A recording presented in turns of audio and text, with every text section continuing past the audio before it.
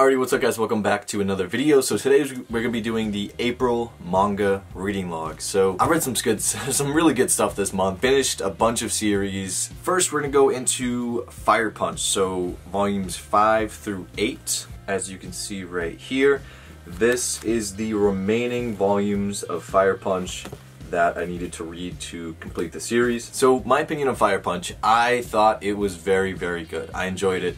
I thought it was just straight mayhem. I thought it was very chaotic. Uh, the story doesn't really make a whole lot of sense, but if you accept that at the beginning like I did, then I thought the ending was fine. A lot of people are kind of, they get upset by the ending just because it, it didn't really, it wasn't, I wasn't very good by any terms, but at the same time, I thought the story was just so ridiculous and insane and violent that like, I, I wasn't really expecting a good ending, if that makes sense. I had no idea where this manga manga was going to go volume to volume. I would tell you right now, I think I read volumes 5 through 8 or maybe 6 through 8 in like a couple hours. I just, I, one after the other, I, I couldn't just stop. And honestly, this is, is such a hard manga to describe. I, I can't really, if you want to watch my other reading log, I probably try to describe it there.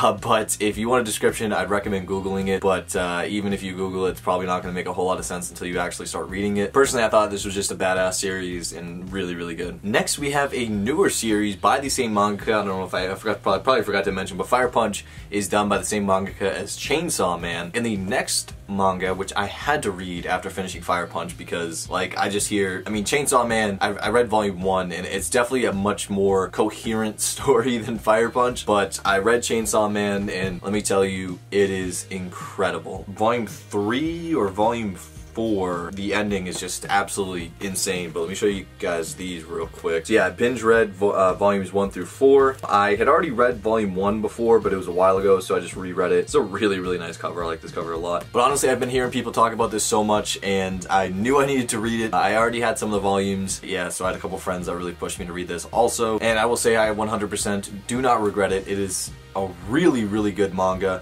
I would say once you get past volume, is it volume 2 at the end of volume 2? Let me see. No, uh, so volume 2 is pretty good, but I think the end of volume, ah it is, so the end of volume 3 is absolutely insane. I immediately was very happy I already had volume 4 purchased, so I could go ahead and move on to that, but I would say by the end of volume 3, if you're not hooked, you're probably not going to be hooked for the rest of the series, but, uh, you know, honestly, I was hooked by Volume 1. I thought it was really, really good, but uh, for some reason I was just kind of waiting to have a couple more volumes, which totally ended up working out because uh, having up to volume 4 I think is the perfect place to start because I could binge these so fast and I really wanted to know what was going to happen next. Next, I also have two series in here which I have not finished but I have read some of the first volume so I want to include them um, because I do have some opinions.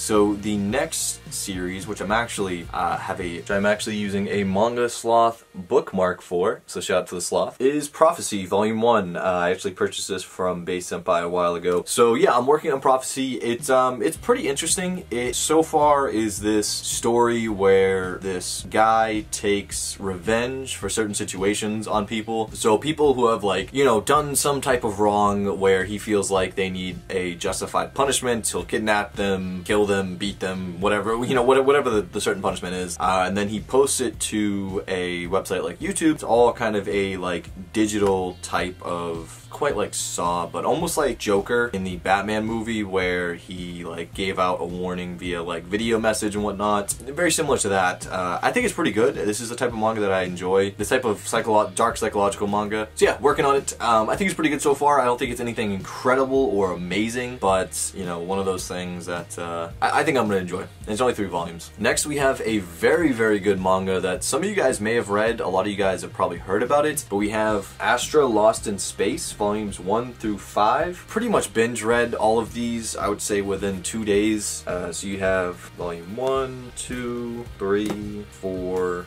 and 5. 5 being a little chunkier, but not, you know, probably not worth warranting a you know, volume six, splitting it. So yeah, this is a very, very good manga. I was a little disappointed because people had called it like the Among Us manga, uh, which is not like Among Us in my opinion. There is a, so basically the story is these, this group of high school kids, this is way, you know, far into the future, who take this high school trip to this planet, which like every single class does every year. So now it's this year, I don't know if they're freshmen or something like that, but they're supposed to go to this planet and just kind of like, you know, explore, it's all like school stuff. So they basically end up getting warped into this like area that is so far away from where they're supposed to be and you later find out that there is a imposter among the group so that's why people say it's kind of like among us but it's not like people aren't getting killed right and left like Among Us. So don't go into it thinking it's going to be this like bloody massacre type manga. It's not. There is definitely some some mystery to it. trying to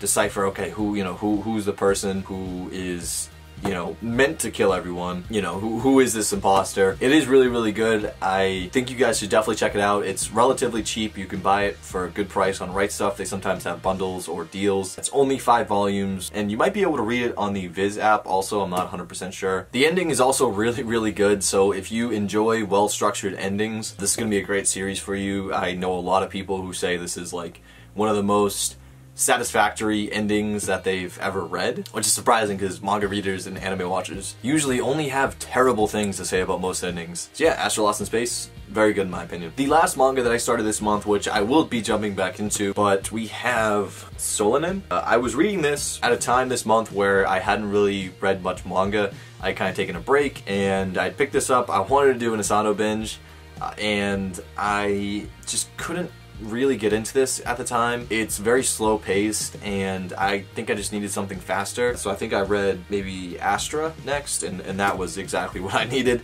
Uh, so I will be jumping back into this. I want to give it a fair shot. I just, uh, it, it was too slow for me at the moment and I know this is a really good manga in people's opinions so I definitely want to do my Inio Asano binge. But I want to do it at, at a point where I can really enjoy the story and not just read this while wanting to read something else. So yeah, that's gonna be it for my reading log. I hope you guys enjoyed. Um, I will see you guys next month for a reading log. If you ever want a review on like an individual series where I go a little more in depth. I will be doing an Attack on Titan stream in the future. I don't know if I actually talked about that in this video, but I did finish Attack on Titan and um, I thought everything was in absolutely incredible. Uh, so I'm gonna have some people on stream to uh, talk about that. Maybe there might be some spoilers, so uh, might might have to you know warn that in the title and whatnot. Yeah, if you guys ever want to see an actual individual, more in-depth review on a series, let me know down in the comments. You know, I, I could definitely check it out and definitely can um, consider doing that or or just, you know, let me know on Discord. But yeah, that's gonna be it for this video. I'll catch you guys later. Peace out.